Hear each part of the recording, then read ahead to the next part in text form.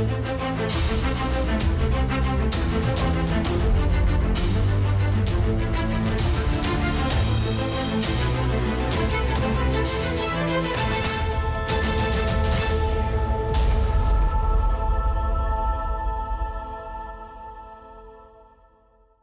õhtust, head vaatajad ja tänast saadet tuleb alustada vist kahe hüüdlausega Vive la France ja Vive l'Europe. vähemasti minu arust, aga me kindlasti räägime Prantsusmaa presidendivalimistest, mida oodati ja kardeti. meie lindistame saadet järgmisel päeval, selle tõttu ma arvan, et te saate aru ka minu minu emotsioonidest. Ma ei arva, et nende eilsete valimistega noh, toimus mingisugune tohutu kannapööre Prantsusmaa ja Euroopa Liidu arengutes, aga julgen oletada, et võib-olla ehk loodi mingisugune uus võimalus uuteks arenguteks, aga sellest me räägime juba asjatundjatega. Raivo Vare, Erkki Bahovski tere tulemast selle hooaja viimasesse saatesse ja vaatame siis natukene tagasi, mida see pöörane poliitikahooaeg, kui, kui seda arvutada nii-öelda esimesest septembrist kuni mai lõpuni, on endaga kaasa toonud ja, ja kas siis Prantsusmaal tehti eile revolutsiooni? no revolutsioon on siiski midagi muud, eks ole, eriti kui me vaatame tagasi ajalukku ja just Prantsusmaa ajalukku, et äh, revolutsiooniga on kaasnenud äh, suured vägivallakeerised ja nii edasi, et äh, noh, praegu ikkagi olid valimised ja olid küll rahutused ja mõlemad leerid siis tulid tänavale, seda küll jah, aga aga revolutsioon, äh, seda nimetada, see oleks ikkagi avanss. noh, ma arvan, et eks Macronile oligi see ju ikkagi avanss ja ta peab nüüd ikkagi hakkama nagu reaalsete probleemidega ka pihta, et et noh, suurim küsimus on ikkagi see, et mida teha et äh, äärmuslastel ei oleks ikkagi toetust, noh, et Macron võitis, noh, me hingame siin võib-olla tõesti kergendatult, aga me peame ikkagi aru saama, et äh, üle ühe kolmandiku Prantsuse valijaist hääletas Le Peni poolt. noh, see, need, need inimesed ei kao ära, et. Äh, ja eriti demokraatias tuleb no seda just, arvestada. me peame sellega arvestama. me oleme näinud Donald Trumpi valimiskampaanias ega tema nüüd presidendi ametis olles, et, et äh, see toetus Trumpile nende poolehoidjate seas üha tugevneb, et äh, need reitingud nii-öelda üleriiklikult on küll madalad Trumpi suhtes, aga, aga poolehoidjad, need, kes teda toetasid, toetavad teda ka praegu. Ja noh, Le Peni puhul ma arvan samamoodi, et, et see on niisugune vana kindel kaader. Ja noh, küsimus ongi selles, et kuidas siis nagu Prantsusmaad edasi viia, kui üks kolmandik on tegelikult äh, Macroni poliitikale selgelt vastu. ja, ja noh, küsimus ongi, et mis siis hakkab juhtuma juunis valimistel, Rahvusassamblee valimistel ja sealt edasi, mis siis hakkab tõesti Euroopa Liidus juhtuma, et, et noh, need on sellised kaks sellist suurt küsimärki ma tahaks siia lisada, et tegelikult äh, tähelepanu tasuks tõesti pöörata sellele, et märkimisväärne osa siiski ühiskonnast, vaatamata sellele, et siin Macron võitis ja mm. Hollandis ikkagi Wilders ei võitnud nii palju, kui nagu kardeti ja nii edasi, nii edasi, aga, aga tegelikult ikkagi on näha trendi, et on ühiskonnas märkimisväärne segment, kõikides juhtivates lääneriikides on ühiskonnas märkimisväärne segment, kes on tegelikult establishment'i vastu kes on tegelikult nii-öelda veendunult establishment'i vastu, suhteliselt isolatsionalistliku või sellise noh, sissepoole pööratud vaatega vihkab, antiglobalism on olnud nende ühine nii-öelda nimetaja ühel või teisel viisil, eks ole, ka retoorikas nende, nende kandidaatidel, eks ole, igal pool. ja, ja see seltskond ei ole kuhugi kadunud ja nad isegi on mõneti suurendanud oma esindatust. ehk siis võit küll aga vaadakem ikkagi tõele näkku, eks ole. lisaks sellele, et eh, nii nagu saigi ennustatud, Trumpi, Trumpi nii-öelda pooldajaskond on veel rohkem veendunud, kui ta enne oli, eks ole. aga lisaks sellele on ju ka Euroopas märgata, et näiteks Hollandis küll ei võitnud Wilders, aga ta sai hääli juurde ja veel rohkem võitis hääli teine ekstreem see on siis roheliste ja vasakpoolsete eh, seltskond, kes sai märgatavalt kordades kasvatas oma parlamendikohtade arvu. Märkimisväärselt, eks ole, sisuliselt tõustes kolmandaks jõust, jõuks üleöö Hollandis, suhteliselt rahulikus tasakaalukas riigis, nagu ta alati ja. on olnud. nii et tegelikult äärmused mõlemad, nii parempoolne kui vasakpoolne äärmus on saanud hääli juurde. täpselt sama loogika kehtib ka praegu Prantsuse mudeli puhul, kus tegelikult ikkagi üksteist miljonit, noh, peaaegu ei kaksteist miljonit, eks ole, hääletas sisuliselt Le Peni poolt mm, -hmm. eks ole, see on pooldajad lisaks sellele oli ju veel miljon tühja sedelit ja, ja kaks miljonit, peaaegu kolm miljonit, eks ole, oli vastupidi, rikutud sedeleid miljon ja kolm miljonit, eks ole, tühja sedeleid, mis tähendab seda, et tegelikult pange need arvud ka juurde, nad ei olnud ju Macroni poolt, nad ei tahtnud Le Peni poolt olla, aga nad ei olnud Macroni poolt ja lisaks ähm. sellele noh, vaatame siis ikka tõele näkku, sisuliselt hääletati nüüd ülejäänud ühiskond hääletas siis Le Peni vastu või ja. oli neutraalne, neutraalne võib ju ka positsiooni vahetada. ehk siis tegelikult ja see on kõige parem tulemus, mis, mis äh, Le Penil tegelikult, õigemini Le Peni taga oleval jõul on olnud läbi ajaloo Prantsusmaal. ehk siis võib väita, et ka nemad kasvatasid toetust.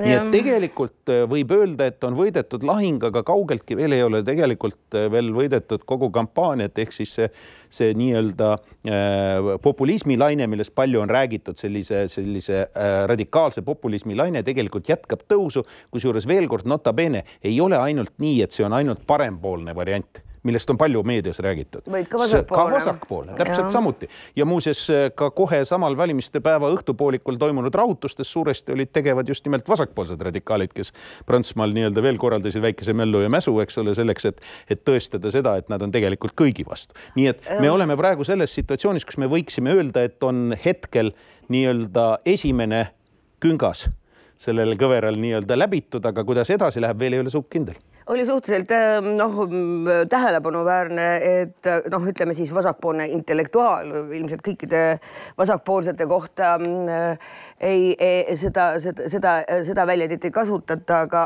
aga Varoufakis, endine Kreeka majandusminister, oli ta rahandus, rahandusminister, tema tegelikult ka ikkagi sellel samal päeval, ma ei tea, vist on ta praegu selle um, School of Economics professor professor Londonis ütles, et, et vasakpoolsed peavad hääletama Macroni poolt. nii et ähm, noh, sellega siis nagu andis ta ka märku, et, et kuigi ta ei ole sellega, selle, selle kõigega rahul äh, nii kreeklasena kui, kui vasakpoolsena kui vasakpoolse intellektuaalina, aga noh, et, et kui meil on valida noh, nii kahe erineva suuna vahel, et, et, et siis ikkagi see, see, see tänane mm, seis annab ehk lootust, et hakatakse otsima veel mingisuguseid alternatiive ka Euroopa Liidus endas. aga siin on oht, et on, toimub siiski väga tugev polariseerumine, mida vahepeal nagu ei olnud Euroopas mm -hmm. märgata. pärastsõjaaegsetest äh, kommunistide võimuletuleku katsetest alates sellist polariseerumist naljalt polegi olnud. ei ole vist olnud ja, tõesti. ja, ja see tähendab seda, et tegelikult me oleme uuesti mingisuguses sellises poliitilise tegelikkuse elukorralduse ringis, kus, kus äärmused tõmbavad ja muuseas ka tõmbuvad varem või hiljem, see on ja. veel eraldi teema. ühine vaenlane, ühine vaenlane. ehk siis mhm. tegelikult äh, me ei tea, kuidas edasi läheb ja äh, Erki poolt nimetatud äh, eelseisvad parlamendivalimised Prantsusmaal tegelikult kohe näitavad ära, kuidas see pilt tegelikult on, kuidas fragmenteerub see jõud, kes täna tuli Macroni taha Le Peni vastu ja mis juhtub siis, kas Le Pen kaotab nii-öelda Le Peni jõud kaotab mingisuguse osa oma toetajaskonda ja tõenäoliselt kaotab, aga kui palju, eks seda paistab ja Le Pen ju ise on ka deklareerinud kohe, et, et nii-öelda oma kaotuskõnes niivõrd-kuivõrd, eks yeah, ole, et see on tegelikult yeah. võit, me oleme saanud rohkem kui eales hääli, me peame ennast natukene ümber tegema, ümber konfigureerima kuni nimevahetuseni isegi, aga me lähme edasi ja ta kavatseb juhtida selle partei suurimaks opositsioonijõuks Äh, valimiste järel, kusjuures nota bene suurimaks opositsioonijõuks, mis tähendab seda, et tegelikult eeldataksegi, et, et nad valitsusse ei pääse, isegi kui saavad väga palju kohti, et kõik ülejäänud jätkavad olema nende vastu. aga ülejäänud on seekord juba fragmenteeritud, nad ei ole ühe taga, vaid neid on neli vähemalt. Macroni on avalikult ja see oli üks tema nii-öelda strateegia üks võidupunkte ka ja algusest peale on tegelikult üritanud mängida kontsiliaatorit ehk siis nii-öelda kõikide ühendajat, eks ole, kuna tal puudub otsene see taust mm -hmm. väga tugev, parteilis ideoloogiline taust, eks ole, siis tal oli seda kergem ka puhtfüüsiliselt heas mõttes teha.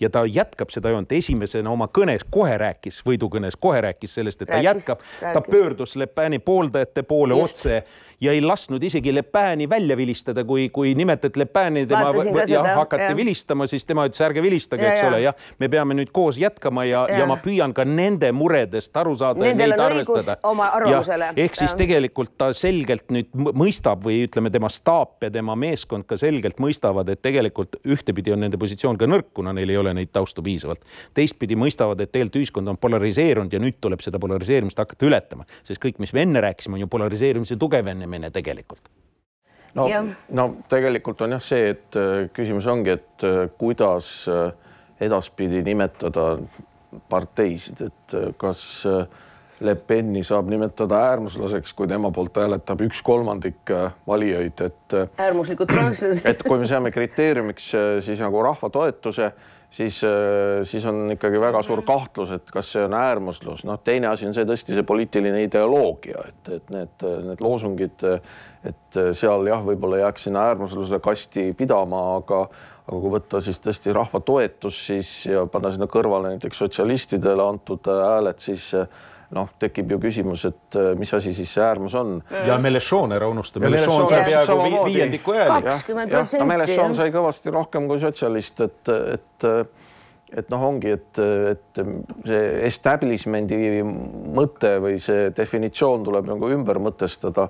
aga noh, muidugi on see, et miks, miks valijad ei ole rahul, on ju ka see, et nad ei saanud ju väga valida, noh, kui me räägime valikust, siis oli, oli ju see, eks ole, noh, me nägime, et, et, ja et noh, et, et ei no ka see, et mm., et ma pean hääletama Macroni poolt, sest muidu tuleb Jah. Le Pen võimule, aga noh, muidu ma võib-olla Macroni poolt ei hääletaks, noh, see ei ole ju tegelikult reaalne valik.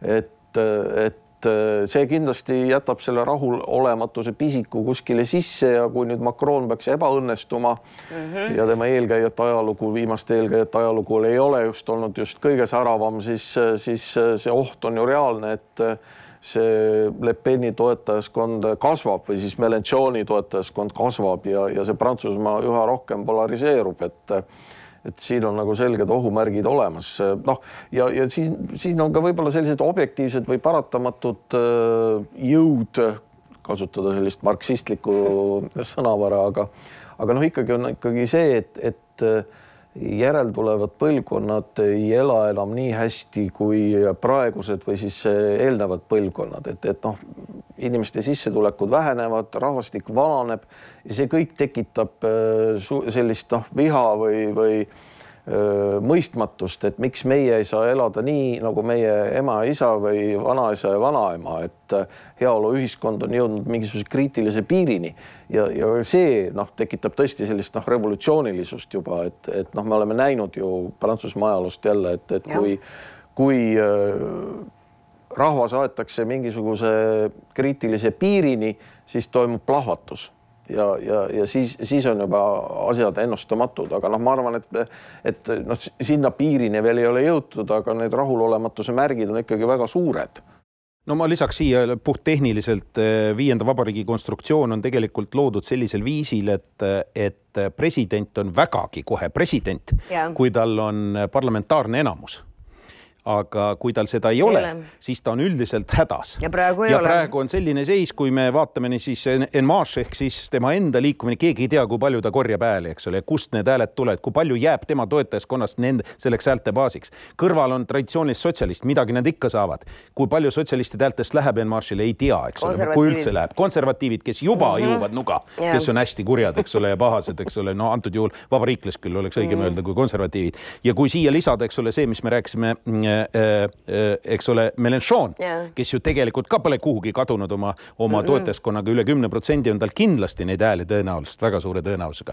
ja siis on veel, eks ole, noh, Le Pen ise koos kogu oma nii-öelda entouraažiga, mis tähendab seda, et tegelikult tuleb suhteliselt fragmenteeritud parlament, kus peab moodustama koalitsioone ja need koalitsioonid saavad olema suhteliselt nõrgad ja nüüd äh, ilma sellise piisava toetuseta president ei saagi kõiki neid asju, mida ta on lubanud ja mida ta tahaks teha, ei saagi mm -hmm. ellu viia, sellepärast et ta peab selles koalitsiooni tingimustes laveerima ja osa asju lihtsalt ei lasta läbi piltlikult öeldes ka, ka nii-öelda parlamendi poole pealt, mis tähendab seda, et ta on tegelikult natukene ka võib sattuda lõksu. Ja nüüd selle ennetamiseks ta juba on hakanud rääkima sellest, et ta teeb laiapõhjalise valitsuse Mm -hmm. enam ei tehta nii, nagu oli, et on sotsialistid või on, eks ole, vabariiklased. Vikerkaare ja valitsus. vikerkaare valitsus mm, -hmm. punkt üks, punkt kaks, ta kavatseb kaasata sinna lahtise tekstiga on öelnud, kaasata inimese, kes on ennast tõestanud väljaspool poliitikat ehk mm -hmm. siis jätkata seda establishment'i vastast joont samuti mõistlikkuse piires, aga ratsionaalsel viisil mm, -hmm. eks ole. ehk siis tegelikult on tal kavas ikkagi teha midagi nüüd natukene teistmoodi, kui siiamaani viiendas vabariigis kombeks on olnud mm. -hmm. ja nüüd on selles mõttes väga huvitav, et samal ajal see langeb kokku ka Prantsusmaal tugevneva sooviga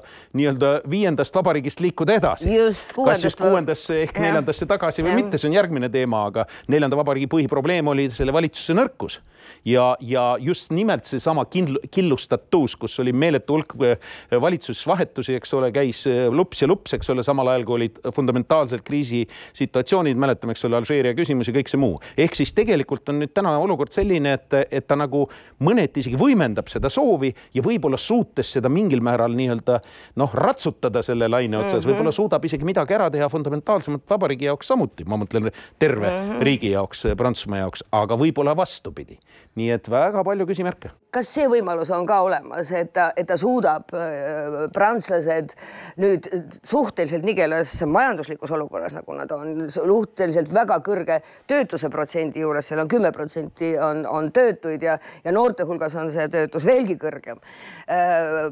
maainimesed ei ole rahul, kuigi nad saavad palju suuremaid toetusi Euroopa Liidust, kui, kui näiteks Eesti põllumehed eales on näinud ja, ja saanud või, või julgenud unistada et, ähm, et kas see võimalus on ka olemas, et kui sa oled kolmekümne üheksa aastane, siis ma arvan, et, et ähm, siis tundub, et võib-olla väga paljud asjad on võimalikud.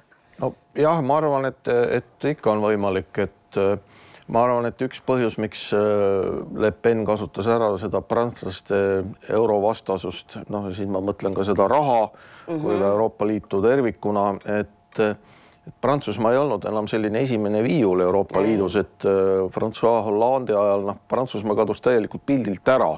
et äh, Saksamaa küll, no sellest me oleme siin saates ka varem rääkinud, Saksamaa küll vastumeelselt, aga ikkagi pidi võtma selle liidri rolli.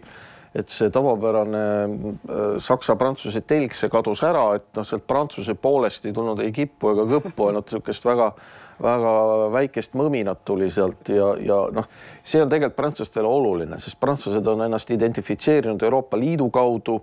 Prantsuse põhiseadus ütleb, et Prantsusmaa on Euroopa Liidu osa ja, ja, ja prantslased olid uhked selle üle, mis nende riik on Euroopa Liidus teinud, aga, aga nüüd võeti neilt see võimalus ära Just. ja ma arvan, et Macron peaks neile selle tagasi andma. see eeldab muidugi tõesti seda, et Prantsusmaa mängib siis taas sellist tähtsamat rolli Euroopa mm -hmm. Liidus. aga majandus on muidugi keerulisem jah, et, et noh, tegelikult tervikpilt ei ole nii hull, et nüüd tõesti ju esimest korda kümne aasta jooksul Euroopa Liidu kõikide liikmesriikide majandused on hakanud kasvama plussmärgiga. et noh, tegelikult see, see kontekst on ikkagi märksa parem kui ütleme viis aastat tagasi aga, aga probleem on see, probleem on Prantsusmaa endas, et mm, -hmm. et see on minu jaoks ka natuke, siin on võib-olla natuke stereotüüpe ka mängus, kui ma nüüd räägin seda, aga aga probleem on ka selles ikkagi, et, et noh, et kuulge, et äh, prantslased, et kui te räägite siin sellest, et äh, tuleb nagu lõhkuda vana ühiskond ja establishment tuleb kuu peale saata ja ja et me hakkame nüüd siin reformima, aga, aga vaadake siis nüüd seda enda ajalugu, et kui on siis tahetud reformida, siis on esimene asi on olnud just Treiko, et me ei taha midagi, mingeid muutusi, eks ole, et ühest küljest me tahame muutusi, aga siis, kui keegi nagu teeb selle ettepaneku ja tahab võtta vastu mingisuguseid seadusi, kus need muutused siis on sees, siis on, siis on kohe pahandus mm. -hmm. et, et noh, et, et noh, et seal vahepeal tuleb siis laveerida ja ma arvan, et see on nagu Macroni jaoks võib-olla isegi suurem küsimus kui see Euroopa Liidu asi, et, et noh, ilmselt ka Merkel, kui ta jätkab kantslerina, saab aru, et noh, et Macron partnerina on ikkagi kasulikum kui äh, Macron kui opositsionäär või vastane ja ma arvan, et jõutakse ikkagi sellele ühisosale. ja Prantsusmaa noh, loodetavasti saab tagasi selle koha Euroopa Liidus, mis tal oli vahepeal ära kadunud no mina lisaks selle koha pealt just, et kui me panime tähele, siis Macron ju avalikult lehvitas Euroopa lippu, eks ole. ta igas mõttes nii ülekantud kui otseses tähenduses, eks valimis, ole. valimisüritustel Euroopa täpselt, Liidu lipp oli tähtsal kohal. täpselt sel hetkel, kui, eks ole, teleintervjuud andev äh, Le Pen keelas stuudios peale Prantsuse lipu Euroopa lipu välja liputa, riputamise, sel hetkel, eks ole, Macron läks ja pidas kõnet ja demonstratiivselt lehvitas selle lipuga, eks ole. tema sisenemine võidukõne puhul oli, eks ole, Beethoveni ehk Euroopa hümni jah ja. saatel, nii et noh, selles mõttes ta rõhutatult seda tegi ja tõenäoliselt üks osa tema toetajaskonnast, märkimisväärsest toetajaskonnast, lisaks sellele, et nad olid Le Peni vastu kui persooni vastu, kui tema mingite programmiliste asjades, üks osa oli kindlasti pro-Euroopa mm -hmm. nii-öelda tugev toetus just. just nimelt talle, sest mitte keegi teine ei olnud nii pro-Euroopa nagu tema muuseas valimistel üldse, üldse.. tuletan meelde, Melechon oli täiesti veel hullem kui Le Pen, eks ole, Euroopa suhtes. kohe meidki maha müüa. ja, ja, ja ega Fionagi oli väga ettevaatlik mõnegi koha pealt, aga mis on nüüd koht, see, mis Erki õieti märkis, on, on tegelikult küsimus majandusest.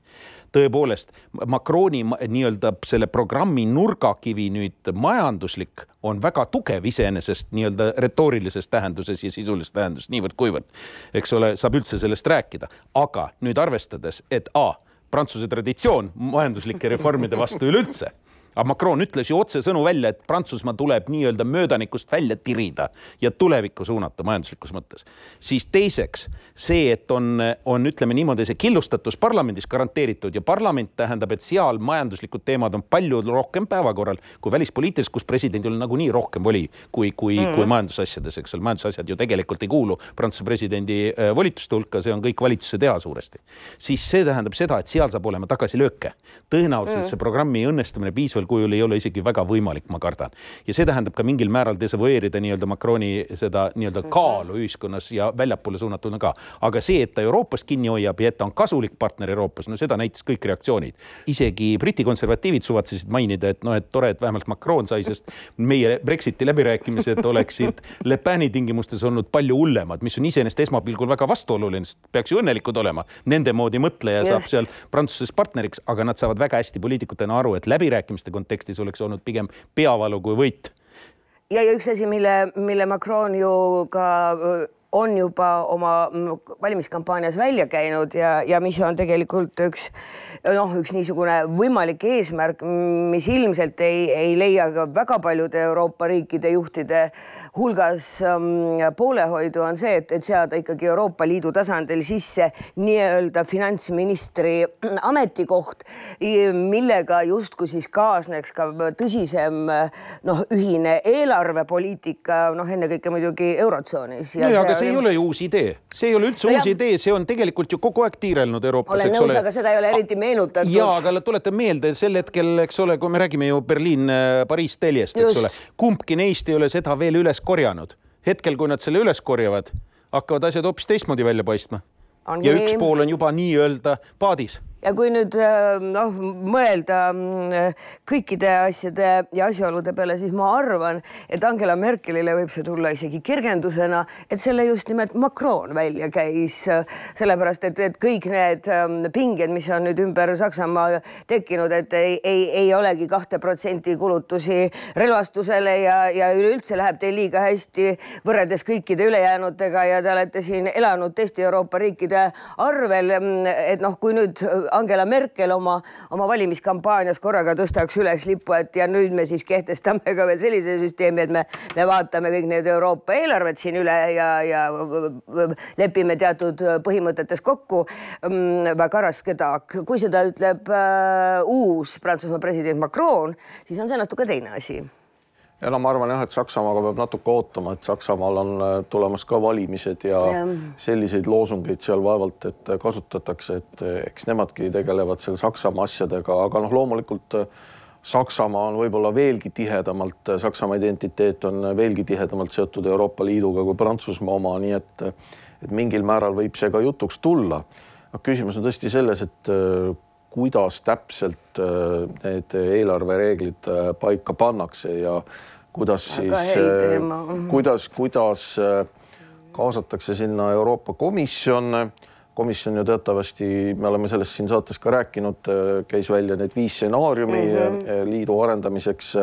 sügisel tuleb ka komisjoni presidendi Jean-Claude Junckeri aastakõne ja noh, ilmselt selle aastakõne eel konsulteeritakse nii Pariisi kui Berliiniga ja võib-olla mingisugused ideed sealt siis ka Macronilt jõuavad sinna Junckeri kõnesse.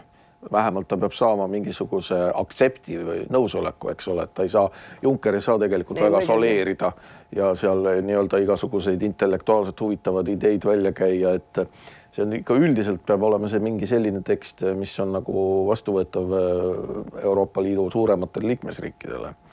Et, et noh, ma, ma arvan, et see, see tekib jah, selline kolmnurk ja noh, kui nüüd asi käib Eesti, jutt käib Eestist, me oleme eesistujad, samal ajal me peame ka ikkagi kuidagi kaasa aitama sellele arutelule ehkki muidugi põhiosa läheb ikkagi Brexiti läbirääkimistele, et. no minu meelest tegelikult me peaksime endale aru andma, et väga suure tõenäosusega Macroniga koos tegelikult jälle tugevnes see traditsiooniline Euroopa Liidu põhitelg ehk siis Berliin-Pariis ja samal ajal toimuv Brexit nõrgendab veelgi nii-öelda kõiki teisi alternatiivseid stsenaariume igas mõttes.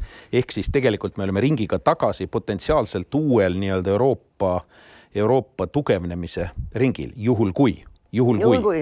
jah ja., aga vähemalt on hakanud tekkima uuesti selleks eeldused ja Saksamaale, nii nagu, nagu Erki ka ütles, tõenäoliselt on see väga suur leevendus ja sina ka räägid sellest, et, et, et see on väga suur leevendus, et uuesti ei pea see ratsionaalsete mm -hmm. asjade eest eestvõitleja olema Berliin noh, Berliini vastu on see umbusk ikka üksjagu suur, ikka traditsiooniliselt. ja emotsioone ka, eks ole. prantslaste vastu on seda palju keerulisem korraldada, no näiteks kogu Club Med ehk siis äh, Vahemeremaade äh, klubi eks ole, Club Med on traditsiooniliselt ikkagi nina seadnud Prantsusmaa järgi, olgem ikka ausad reaalne pilt on ikka selline ja, ja see on traditsiooniline toetusgrupp olnud Prantsusmaal ja kui see liider seal on siis nüüd, nüüd selline Macronilik, siis järelikult ka Club Medi nii-öelda mängureeglistik on selles mõttes mingil määral hakkab selleks kohanema, sest muidu on ta loomulikus, ma ütleks, looduslikus opositsioonis Berliinile. nii et, nii et iseenesest toimub ka teatud jõudude ümberjaotumise võimalus vähemalt Euroopa Liidus tekkimas koos Brexiti komplektiga muidugi. kuidas meie peaksime sellesse suhtuma siin kallil armsal Eestimaal ja, ja missugused reaktsioonid võivad nüüd tulla Võšegradi riikide poolt? Eesti saab siin rahus toimetada selles mõttes, et Eh, viimane Eurobaromeetri küsitlus näitas, et eh, toetus Euroopa Liidule on kuuskümmend seitse protsenti. see ei ole mm, järelikult rahva arvamusega vastuolus.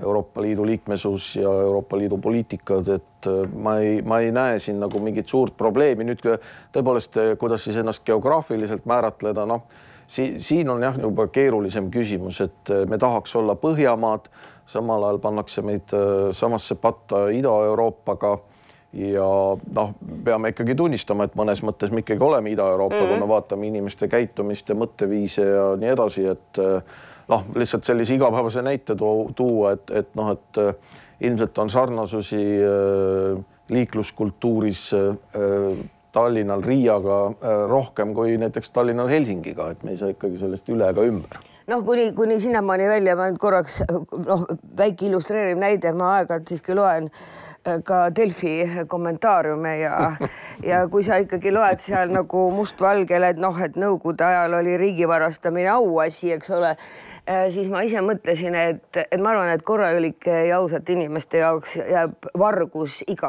riigikorra ajal varguseks. ja, ja kui tõepoolest see mõtteviis oli selline, et, et, et sellel ajal oli varastamine riigi tagant auasi, siis ma arvan, et nendel inimestel on ka täna suhteliselt ükskõik, kui Eesti riigi tagant varastatakse. Ma muidugi ei süüdista neid juba a priori varguses, aga vähemasti see suhtumine on selline, nii et, et, et ikka ja me, me oleme ikka sellest viiekümnest aastast mõndagi kaasa saanud, kuigi me ütlesime, et noh, mitte midagi mitte midagi meid sellega ei seo, ikka seob küll jah. no ikka seob, ega üle hüpata teatud arengutest ei, ei saa kahjuks ja. ja tulebki sihikindlalt sel teemal ikka pingutada, et natukene Just. paremini lahti tõmmata otsi, aga mis ma tahtsin lisada Erki jutule on see, et, et minu meelest äh, tähelepanuväärne on ka see, et Jean-Claude Juncker on äh, teinud äh, väga huvitavaid avaldusi vahepeal ja üks nendest avaldustest oli ka selline, et me vist oleme natukene nende regulatsioonidega üle pingutanud mm, -hmm. et mhm. noh, et oleme liiga palju püüdnud siin määratleda. see ei ole juhuslik avaldus, ma arvan, et see ei ole mitte mõttevälgatus, vaid see on nüüd uue nii-öelda vot sellesama uue teljega tekkiva situatsiooni juba ette nii-öelda enda jaoks ära defineerimine Junckeri poolt ja komisjoni poolt, et võtame teatud valdkonnad, kus me jätkame süvendatud integratsiooni, võib-olla jätkame nüüd selle majandusliku nii-öelda reformikavaga mm, -hmm. mis mhm. ühel või teisel viisil on siin liikunud Euroopas ringi,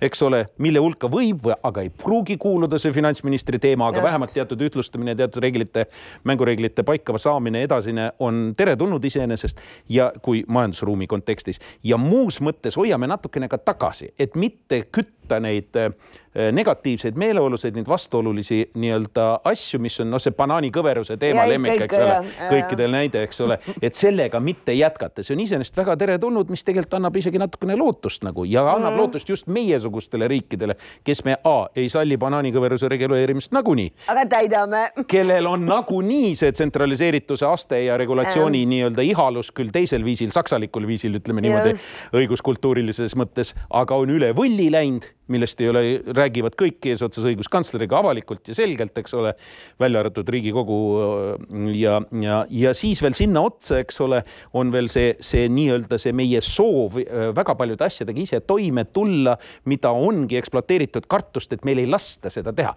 meil ei lasta endal teha see, see Jaa. nüüd tekib võib-olla lootus, et natukene ikkagi lastakse küll rohkem, kui vahepeal tundus, et, et ei taheta lasta, nüüd nagu tahetakse jälle lasta. väga hea dispositsioon iseenesest, nii et väga palju oleneb, kuidas nüüd asjad edasi lähevad, kuidas lähevad valimised Saksamaal, kus on näha, et praegu landides toimuvad Jaa. valimised on pigem positiivse konnotatsiooniga Euroopa Jaa. kontekstis ja Jaa. Saksamaa enda arengute kontekstis ehk siis see palju karde, kardetud AfD ja äh, ei ole midagi endast kujutanud ja tegelikult on, on jah, kristlikud demokraadid on uuesti hakanud tõusma nendes põhjalandides, kus on ka tööstusbaas ja see nii-öelda väga tugev majandusbaas taga, eks ole. ja Schulz, kui ta see on, on ju ka selge, et, et, et, et väga pro-Euroopa, eks ole. jah, pro-Euroopa on ta nagunii, seal majanduspoliitilised teemad lähevad ka paika ja Jah. nagunii see koalitsioon tuleb ühel või teisel viisil suur jälle minu arvates. aga nüüd on veel Itaalia päevakorral. Mm.. noh, Ka veel Renzi võidukas tagasitulek näitas, et tegelikult Itaalias on ka hakanud mingid asjad liikuma. Ja nüüd äh, väga võimalik, et ei, järsku me näeme veel ka Itaalia valimisi, ei ole üldse välistatud, eks ole. E, e, nii-öelda ma mõtlen ennetähtaegseid valimisi. Ja see suur hirm, et tekib selline eh, telg, eks ole, väga naljakas telg, eks ole. Pepe Grillo. Pepe Grillo sealhulgas Itaalias, me oleme sellest rääkinud, eks ole, siis see võib-olla siiski jääb sellisel kujul ära. Ja muuseas ka Grillo, kui olete tähele pannud, on hakanud osa avaldusi tagasi tõmbama, millega ta enne nii-öelda populaarsust üritas korjata, mis on tegelikult olnud Euroopa vaenulikud avaldused olemuslikult ja mis nüüd on hakanud tagasi kerima. nii et tegelikult mõnes mõttes on nagu mingi Euroopa selline kevade hõngu hakanud tekkima uuesti. Ja no ma tahtsin öelda veel regulatsioonide kohta, et äh, ma olen põhimõtteliselt nõus, et äh, Euroopa Liidus on liiga palju regulatsioone, mingeid asju reguleeritakse üle, aga aga see on niisugune väga mugav äh, viis äh, selles süüdistada ainult Euroopa Liitu, et no ma olen rääkinud ka asjatundjatega, nad ütlevad, et noh, probleem on ka selles, et liikmesriigid ei taha siseriiklikult paljude selliste asjadega tegeleda. Et, et noh, need ei ole lihtsalt ju need, need väidetavad banaanikõverused, noh, tegelikult seda ju ei ole. Aga noh, need tekivad, eks ole, need küsimused tekivad, et mis me siis ikkagi teeme, kuidas need äh, tooteid nagu turul ühtlustada, viia ühest riigist teise, et seal peab olema mingisugune standard ju, see ei, päris ei saa ju metsikult nagu tegutseda, et et ja, ja noh, liikmesriigid ju võiksid omavahel kokku leppida Just või, võiksid nagu siseriiklikult võiks siis tekitada mingi noh, mingi küsimus, et see tekitab ju alati tootjatel ja erinevatel äh, lobistide gruppidel tekib ju ikkagi küsimus, et miks üks toode on kuidagi teistmoodi kui teine. et, et, et noh, siin on sellised praktilised vajadused, aga probleem on selles, et, seni on ju tehtud niimoodi, et, et me ei suuda noh, siseriiklikult või kahe riigi vahel me ei suuda kokku leppida, las siis Brüssel otsustab, eks ole, ja siis see tuleb bumerangina tagasi, et oi-oi, et nüüd on pahandus, et aga, aga noh, tegelikult on see, et, et noh, kui me võtame selle subsidiaarsuspõhimõtte, siis tegelikult paljud asjad saaks ära otsustada koha peal, aga kuna on mugav lihtsalt nagu delegeerida see Brüsselisse, siis äh, Brüssel noh, peabki sellega kuidagi hakkama saama ja siis tulevadki mõnikord jah, sellised totrused aga mul on lisada veel seda, et, et vaadake, teine pool asjast on see, et teinekord jälle pingutatakse üle mm. -hmm. õiguskantsler Ülle Madise on sellest nüüd viimasel ajal suhteliselt palju ka rääkinud, et me, me võtame siis selle nii-öelda Brüsseli regulatsiooni, isegi kui ta on mm -hmm. olemas mingil kujul, baas nii-öelda direktiivina ja siis teeme sellest no sellise nuia Ja ettevõtluse jaoks, mis üldse võimalik on ja natuke veel peale ka. et see on nagu puhas individualism, nii-öelda Põhjala stiil meil, nagu ta siin on välja kujunenud. see ei ole Põhjala stiil, see on konkreetselt eestimaine eh, nii-öelda leiutis. teine pool asjast, mis puudutab standardeid, tahaks siiski tuua teise näite. Hyperloop praegu paljud nii-öelda tekitanud äh,, kära tekitanud uus tehnoloogia transpordis tegelikult äh, nad kavatsevad luua Soome Salo linna endisesse Nokia know-how baasi, luua endale arenduskeskuse Põhja-Euroopas ja Euroopa jaoks tervikuna. Hakkavad ka Väga projekte arendama, üks nendest võib-olla on ka meie tunneliprojekt, aga esialgu on see rohkem nagu äh, neljakümne viie minutiga või kahekümne minutiga. kahekümne seitsme minutiga Helsingist Sto- Stockholmi, aga, aga see on esimene projekt, aga põhiline ei ole isegi see muuseas.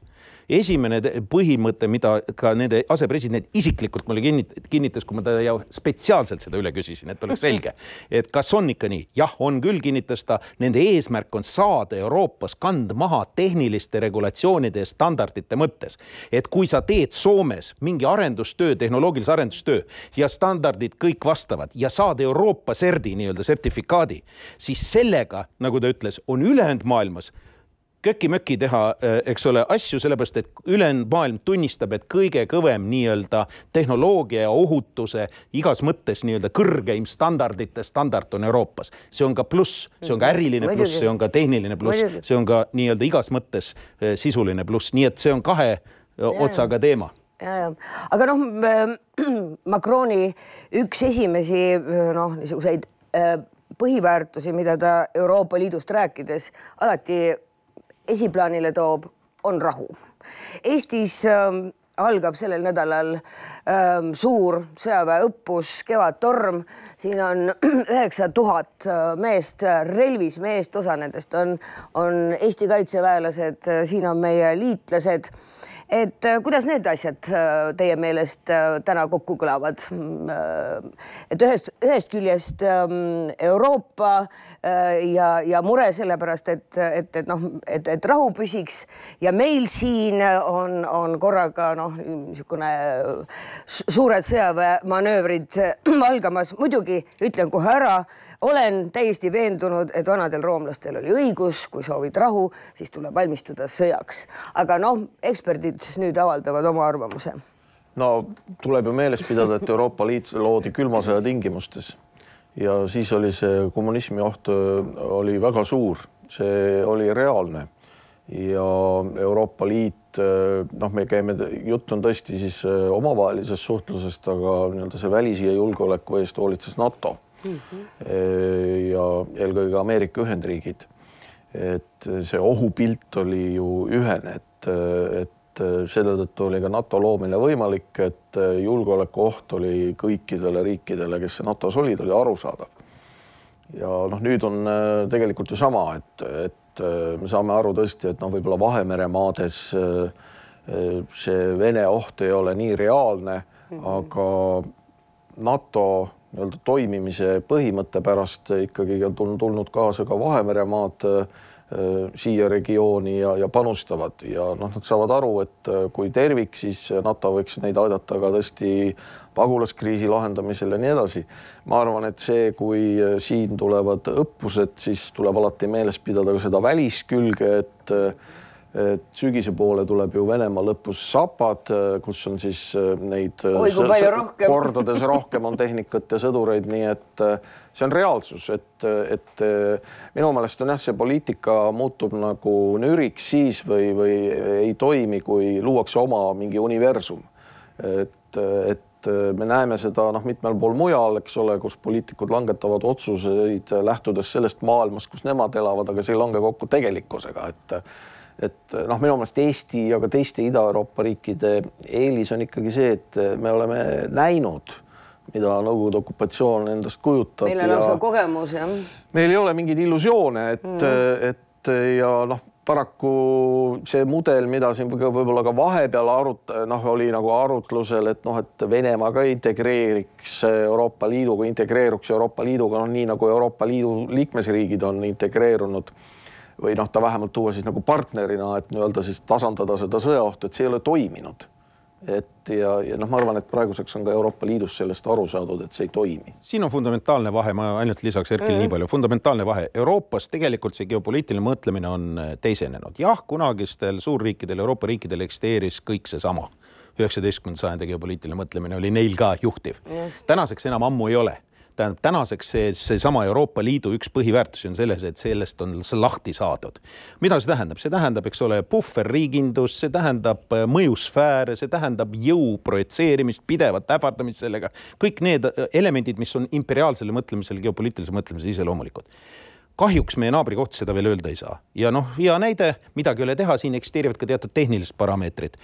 alates kahe tuhande kuuendast aastast meie idanaaber ei ole arendanud kaitse otstarbelist relvastustega väeosade moodust, ainult ründe, väeosade ja relvastuse programmi. see ei ole isegi veel nüüd see viimane aeg, eks ole, see oli Krimmi aeg, millest palju räägitakse mm, -hmm. see oli nii-öelda mingisugune, mingisugune näitaja äratuskell, aga tegelikult programm on kestnud vähemalt kahe tuhande viiendast, kuuendast aastast ja kogu aeg on kasvatatud ründevõimekust meie vahetus lähedus.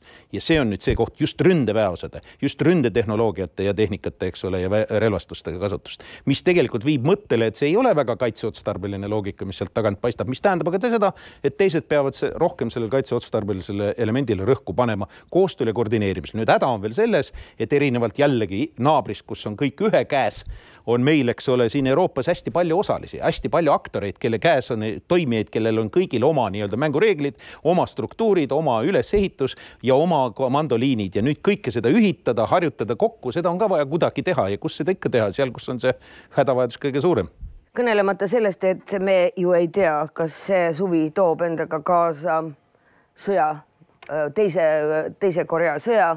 see oht ei ole tänaseks mitte kusagile kadunud. see tähendab seda, et, et Ameerika Ühendriigid noh, ilmtingimata on sellel juhul selle sõjaga seotud ja see tähendab ka seda, et, et, et NATO on sellega seotud. nii et, et noh ilmselt see, see küsimus äh, äh, julgeolekust äh, Euroopa Liidus ähm, peab igal juhul muutuma olulisemaks. see noh, ma arvan, et on kõigile selge, et, et keegi ei hakka teist NATO-t selle NATO kõrvale ehitama, aga selleks, et see NATO mitme niisuguse konfliktikoldega maailmas suudaks olla ikkagi jätkuvalt efektiivne ka meie jaoks, selle jaoks ilmselt oleks hea, kui ka Euroopa Liit nendele küsimustele nüüd hakkab rohkem tähelepanu pöörama. aga see suunatud on geograafiliselt teistes suundades, see ei ole suunatud siiapoole Euroopa Liidu aktiviteet tegelikult ja,. jah, jah. no tegelikult ju ka on öeldud, et noh, Euroopa Liidu sees on tõesti see loobumine geopoliitilisest mõtlemisest ja sellest äh, vanast rivaliteedist aga kui me vaatame tõesti Aasiasse ja Koreasse, siis noh, seal on ju tõepoolest need vanad äh, mõtlemismallid alles ju. Seda lihtsalt on kirjutanud ka Henry Kissinger, et noh, tõepoolest tõesti, et see Aasias on see jõupoliitika ja geopoliitika ikkagi nagu jätkuvalt päevakorral, et äh, Hiina, Venemaa, Jaapan, USA Koread ise, eks ole, kes siis otsib endale sõpru ja kes, kellel on vaenlased, see on seal kõik olemas, et, et noh, see on selline nagu tegelikult nagu hüpata nagu ühest maailmast teise, et kui Euroopas on tõesti see, et me oleme liikunud nagu sellise geopoliitika järgsesse maailma mõnes mõttes, noh, geopoliitika on ikka mingis või mõttes ka alles või vähemalt üritame, eks ole, et noh, keskmine Euroopa mm. poliitika ikkagi ei mõtle niimoodi nagu üheksateistkümnenda sajandiga Euroopa poliitika. siis Aasias on see kõik alles Aasias, et, et, et noh, need jõumängud, liitlassuhted, nii edasi, see üksteise ülekavaldamine, et see, see, see on kõik seal toimib. nii et me elame siiski põnevatel aegadel. elame ja head vaatajad ähm, see Rahvaadvokaadi saade lõpeb ja, ja tegelikult on see ehk hooaja lõpusaade, aga arvestades seda erakordset aega, mil me elame ja arvestades seda, et Eestist saab kohe Euroopa Liidu eesistujariik. mine tea, ehk me veel selle suve jooksul kohtume ka heade ekspertidega ja, ja arutame ehk natuke lähemalt, mida siis ikkagi see uued Euroopa plaanid võivad enda jaoks kujutada. meie kätte jõuab lihtsalt rohkem informatsiooni, siia tuleb inimesi, kes Euroopas teevad otsuseid. mine tea, äkki õnnestub ehk mõnega nendest jutulegi saada. nii et soovin teile ilusat rahulikku suve ja ikka seda, et, et kõik need arengud liiguksid selle poole, et äh, meie lapsed ja lapselapsed võiksid elada tulevikus rahulikus maailmas kohtumiseni hiljemalt sügisel, aitäh.